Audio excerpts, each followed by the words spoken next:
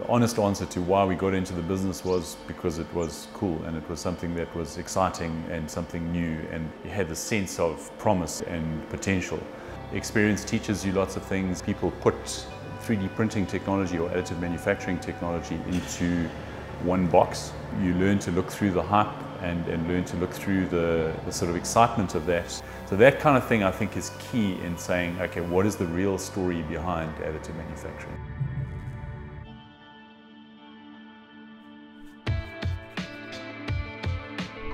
Concept of additive manufacturing is you are creating an object by building it up from nothing. Basically, you are taking a, a, 3D digital representation of a physical object, slicing it up, and then building that one slice at a time.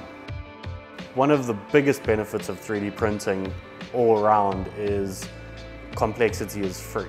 With conventional manufacturing, part complexity is governed by your tooling capabilities you can um, build geometries that are not, uh, not really possible any other way.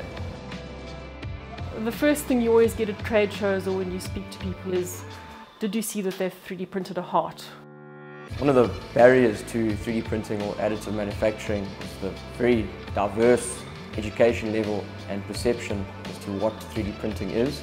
3D printing really shines in very complex, smaller components. We are a company that focuses very definitely on manufacture and in, in, industrial applications. And so people often ask, who are your main customers? Quite literally the answer to that question can be pretty much anybody, provided your product and the way that you think about it and the way that you think about the design fits and makes sense. Additive manufacturing gives you the ability to, to change your, your whole business model, but it's not a plug-and-play technology.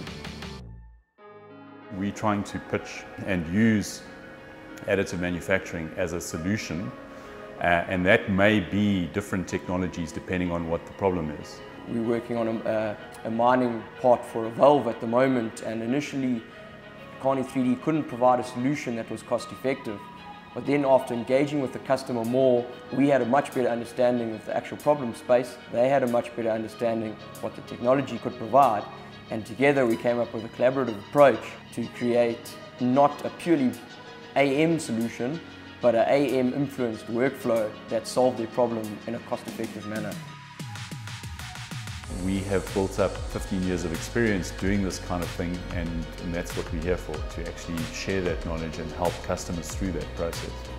I think our challenges, they're probably still the same and the big challenge is education. There is a lot to learn, but it's no more than anything else.